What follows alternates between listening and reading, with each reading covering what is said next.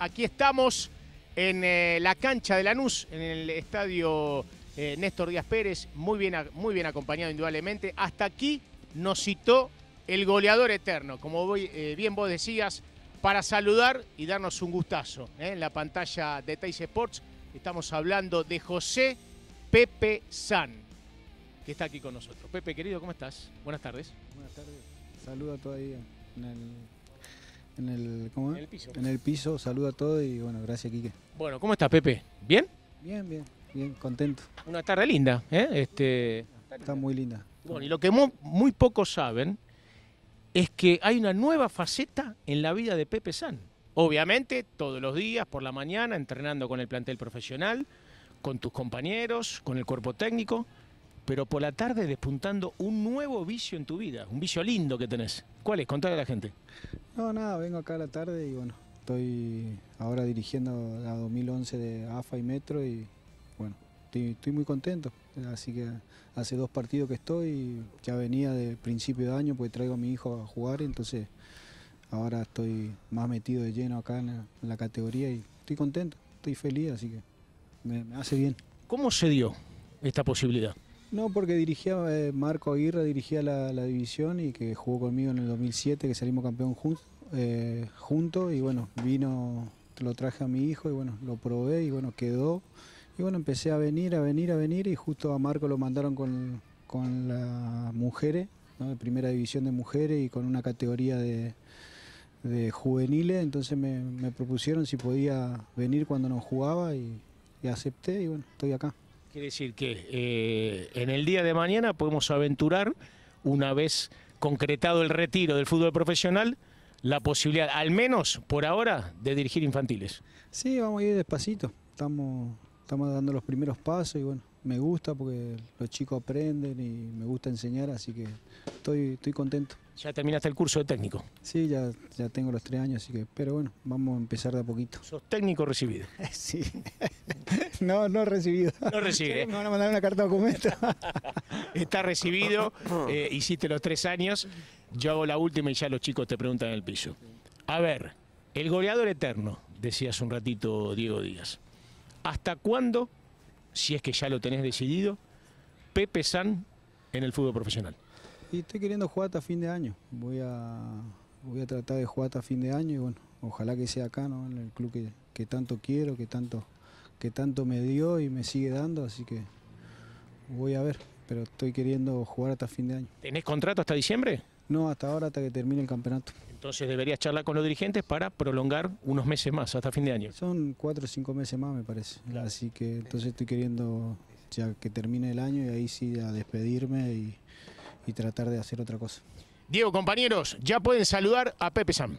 Pepe querido, bueno, el saludo, el abrazo y la admiración de, de siempre, de, de- de verte en cancha, de ver, creo yo, disfrutando, más allá que probablemente no estás jugando todo lo que seguramente te, te gustaría jugar. ¿Pasa eso? ¿Crees que estás jugando lo que tenés que jugar o, o merecería jugar un poco más? No, obviamente que el jugador siempre quiere jugar, ¿no?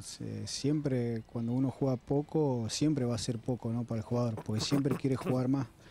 Pero obviamente que, que el equipo está muy bien, el equipo está jugando muy bien y tiene al loco que está haciendo muchos goles, así que trato de aportar lo mío de afuera y la, cada vez que me toca entrar, ¿no? Y la verdad que estoy contento, la verdad que estoy disfrutando más, ¿no? Este año estoy disfrutando mucho. y te permite relacionarte de buena manera con Frank. Digo, eh, es el que tiene que poner al ídolo que toda la gente pide en el banco. ¿Cómo te tiene eso con el entrenador? No, bien, bien, la verdad que bien. Eh, estoy yendo al banco, estoy entrando unos minutos y bueno, eso me sirve para poder disfrutar y estar con mis compañeros, ¿no? La verdad que tenemos un trato de técnico jugador muy bueno, como todo, pero bueno, trato de siempre estar presente, ¿no? ¿Se puede pelear el campeonato a River? Y pienso que estas cuatro fechas van a ser decisivas para nosotros, ¿no? Tenemos cuatro partidos muy, muy difíciles. Me parece que si sacamos los puntos necesarios y River pierde algunos puntos en esas cuatro fechas, por ahí lo podemos pelear, ¿no? Para mí hay algo muy particular que sucedió hace poco tiempo, José, te saludo, y es este, esto de meterle constantemente goles a Independiente, ¿no? Que fue bastante llamativo. Otra vez, otra vez apareciste en este caso. Obviamente, nosotros, la mirada nuestra tiene que ser para alegría de la gente de Lanús, pero la verdad que sos un, este, sos un amargador serial de las tardes noches del rojo. 16 goles en 24 partidos. Claro. Sí, la verdad que sí, tengo suerte contra Independiente, siempre le, le, hice goles. Y justo yo no iba a patear el penal y justo me dice, loco, patealo vos, me dice. Bueno, gracias, y justo me tocó hacerlo, ¿no? La verdad que contento, pues, la verdad que siempre tuve suerte en esa cancha. Lindo eh, calefón te dio para que patee, ¿no? Sí, porque era en el último instante, en un partido complicado. ¿Eh? Era como patear un Fiat 600 más o menos, ¿no? no, pero tenemos mucha confianza con el loco, entonces yo le dije, patealo vos que está peleando ahí los goleadores, y él me dijo, no, patealo vos que soy el ídolo, la verdad que me hizo sentir muy bien y, la verdad que lo, pude hacer bien. Igual los goles a, los grandes son un montón de José, 52 goles a equipos grandes 16 a Independiente, 12 a Racing, 10 a San Lorenzo, 8 a Boca, 6 a River. Y se le viene Boca, Pepe. y, tengo, y tengo un par de errados que todavía me estoy rompiendo la cabeza. bueno, pero a Boca le metiste 8 goles. Tendría que tener 55, 56. Vos que sos un tipo... a Boca le, le hice también un par, así que... Pepe, vos que sos un tipo que tan memorioso, ¿qué gol recordás que todavía por ahí no te deja dormir? y a, contra River acá en, que abajo el arco que la tiré arriba. Ese me, encima a Franco no, a Franco no lo pudo hacer goles, así que estaba solo con el arquero y lo pateé arriba. Me quería, me quería morir. Y perdimos 2 a 0, 2 a 0. ¿Y hoy qué le decís a, los chicos que, estás entrenando a la hora de definir para, tener esa tranquilidad y frialdad que, que has tenido en tu carrera? que se tomen un segundito más, ¿no? Me parece que siempre yo trato de decirle que lo que me enseñaron a mí, ¿no? que siempre esté un poquito más tranquilo que, que otras situaciones y siempre busque al costado del arquero, ¿no? Me parece que la mejor, mejor forma de aprender, a mí me enseñó Aristizábal, ¿no? En Victoria, cuando yo estuve con él, era muy chico, yo erraba muchos goles y él me decía, vos tomate un segundito más y siempre al costado del arquero, no importa que se vaya afuera, me decía. Si una va ahí adentro y ahí va a ir tomando confianza, confianza y bueno, son cosas que a mí me enseñaron y trato de transmitirlas, ¿no? Y obviamente que es difícil, ¿no? Cuando uno no tiene experiencia o cuando uno está haciendo sus primeras armas es muy difícil, pero bueno, el que, el que entiende rápido hace goles, ¿no? Ahora, eh, yo creo que en el fútbol argentino lo que no quedan, además de tipos de tu edad que siguen haciendo goles, son festejadores de goles como vos. Este, con, ese, con ese Si el partido va 4 a 0 y va el Pepe y mete el quinto, lo festeja igual. con, se e- disfruta menos. Con esa energía. le, falta festejadores buenos al fútbol argentino, ¿no? Me acuerdo de Chatru, que en su momento Chatru se volvía loco, ¿viste? pero estaba medio tocado también. Pero, Sacaba la camiseta. Claro, era un loco total. Pero le falta festejadores. Sí, no, por ahí ¿viste? no se festeja mucho como lo festejamos nosotros los más viejos, ¿no? Antes se festejaba más, un poquito más los goles, ahora por ahí se hace una coreografía o un bailecito. No te veo en esa. ¿eh? Pero bueno, a mí me gusta festejarlo. No te veo un chamamé, algún chamamé. Trato de bailar, pero no me sale. algún chamamé correntino. Claro, una zapateada, ¿no? ¿Es el momento justo para enfrentar a Boca con tanto lesionado? Sí, la verdad que sí, ¿no? Obviamente que anoche salieron muchos lesionados, pero bueno, sabemos el plantel que tiene Boca y, lo difícil que es jugar en la bombonera, ¿no? Ojalá que, podamos hacer un buen partido. Quiero, quiero eh, una, una, una, más de mi parte, José, porque si hay algo que, siempre eh, fue una, una, lucha en un ida y vuelta con la dirigencia de la NU fue esto de las renovaciones de tu contrato, que todos los hinchas sí pretendían que siguieras, pero bueno, la cuestión no era muy fácil. Ahora vas a entrar en un terreno que no entraste nunca, que es la decisión tuya de jugar un puñado de meses más después de que se te termina tu contrato. Es una variante que no habíamos tenido en las anteriores renovaciones. ¿Le tenés algo de, temor a, esa cuestión o, o ya está todo apalabrado? No, obviamente que no tenemos que sentar a hablar. Obviamente que el presidente dijo que había que hablar, sentarse a hablar y ver lo deportivo y lo institucional, lo institucional, ¿no? Obviamente que el club está sobre todo ídolo, sobre todo jugador, pero pienso que no, no, pienso que no va a haber problema, me parece que sigo estando bien y jugar cuatro meses más no, va a cambiar mucho, ¿no? no, no, estoy pidiendo renovación por un año, por dos años como antes, como me, me merecía me merecía tener por uno o dos años más, ¿no?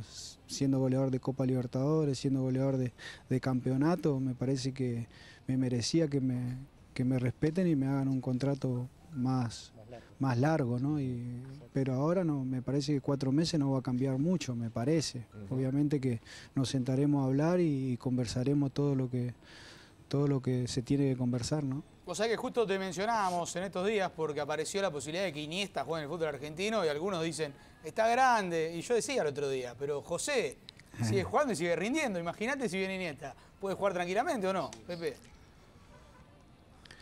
Y pienso que sí, un jugador que tiene mucha inteligencia para jugar, jugó siempre en Europa, me parece que tendría que jugar sin, sin problema, ¿no? Y obviamente que nunca tuvo lesiones graves, eso, eso ayuda al físico y al cuerpo, ¿no? Pepe, sacando eh, el Loco Díaz y sacando eh, el Pepe San, ¿cuál es tu nueve preferido del campeonato? Y me gusta mucho el de Belgrano, ¿no? La verdad que, es un goleador nato, ¿no? ¿no? se ve tantos goleadores natos, natos, ¿no? Y un, un 9 de área, ¿no? Eh, cada vez se ven menos, ¿no? Se ven más jugadores de de, de 9 pero con otras funciones, ¿no? Y este es un goleador nato, ¿no?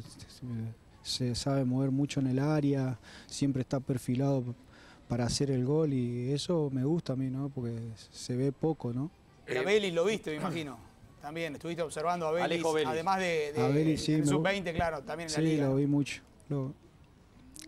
Lo, vi, pero viste, es un jugador que cabecea muy bien, y jugador de área también que, que, juega muy bien, ¿no? Son jugadores que a mí me gustan, pero bueno, obviamente que salir de un Nacional B y seguir haciendo goles, no todos lo hacen, ¿no? Es, muy difícil. Eh, a mí me tocó salir goleador Nacional B y después en River me costó, ¿no? Me, hice goles, pero me costó y, este chico subió y, y, está haciendo goles, muchos goles, ¿no? Y eso me parece que es muy bueno.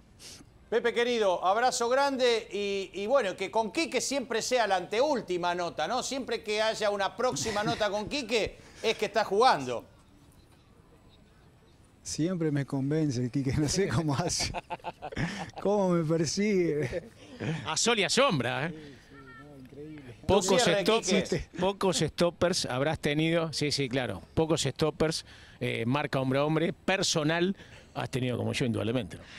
No, mira que no, no me gusta mucho hablar, pero bueno, eh, pero me seguí para todas. Sigo para todas. Te pongo un, te pongo, te pongo un, eh, eh, acá la gente alentando y obviamente incondicionalmente, apoyando incondicionalmente al goleador. Este, te seguimos a Solia Sombra, es la realidad. Bueno, Pepe, la última. A punto de cumplir 43, ¿no? Sí, 43. El de julio, 17 de julio. 17 de julio, por eso falta un poquito más de un mes. Cuando el grito de guerra se sienta acá, a muy pocos metros, en el estadio en el cual te transformaste en ídolo? ¿Qué se siente?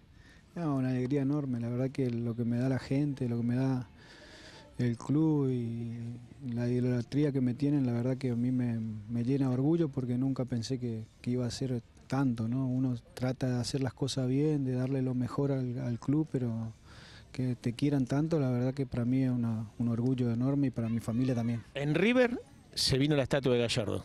¿En Lanús se viene la estatua del Pepe? el cariño que me dan, la verdad que me eh, mucho para mí, la verdad que es mucho porque yo no salí de acá y vine de grande y bueno, con el cariño que, me da la gente, para mí ya es mucho, ¿no? Ojalá que en algún momento me hagan otra cosa más, pero ya esto me alcanza y me sobra. Ya están juntando las, llaves, ¿eh? El bronce necesario para hacer la estatua. Sí, la verdad, bueno, vamos a esperar, vamos a esperar. Vamos con los regalitos, ¿eh? que son unos cuantos, y merecidamente para, para el Pepe San. La mejor cuchina ¿eh? de Puerto Madero, Alicia Moro de Justo 1768. La mesa chica, los que cortan la torta, Diego Díaz sabe de qué hablo, son los que van y deciden y toman decisiones importantes en este reducto. vamos a regalarte las ojotas que usa el mejor jugador del mundo, ¿eh? este, especialmente pedidas por el Pepe San y toda su familia. ¿eh? Ahora elegís el modelo y el talle que más te guste. Vamos a regalarte las zapatillas que acompañan a motivarte en tus entrenamientos. ¿eh? Disfrutar el camino del deporte con esta prestigiosa marca. Y por último, vamos a regalarte algunas prendas de esta marca que la está rompiendo, descosiendo, dejando chiquitita en todo el territorio de la República Argentina para que lo disfrutes. El grito de guerra final para el Pepe. ¿eh? Ahí está, o el aplauso en este caso para el Pepe. Bien merecido porque estamos en tu tierra, estamos aquí en Lanús, donde te transformaste en ídolo. Pepe querido, gracias por la entrevista, desearte lo mejor para lo que viene, amigo. Gracias y saludo a Diego, a toda la gente ahí, que tengan que terminen bien el año, ¿no? La segunda mitad del año. Nos vemos en diciembre, cuando anuncies tu retiro oficialmente, ¿no? Sí, en diciembre seguro. No creo que haya que romper el chanchito, ¿no? ¿Eh? Los dirigentes creo que deben, deben entender de qué se trata, ¿no? Difícil, lo más difícil. Lo más difícil, ¿no? pero no está mal, Nicolás Russo. No, pero está bien, pero es lo más difícil, pero bueno, eh, estoy contento acá y ojalá que pueda seguir. Gracias, Pepe. No, gracias. La palabra del goleador eterno, como bien bautizaba el señor Diego Díaz. Si te gustó el video, te invitamos a que te suscribas a nuestro canal de YouTube y actives la campanita para enterarte de todo nuestro contenido. Visita teicesports.com para estar al tanto de todas las novedades del deporte.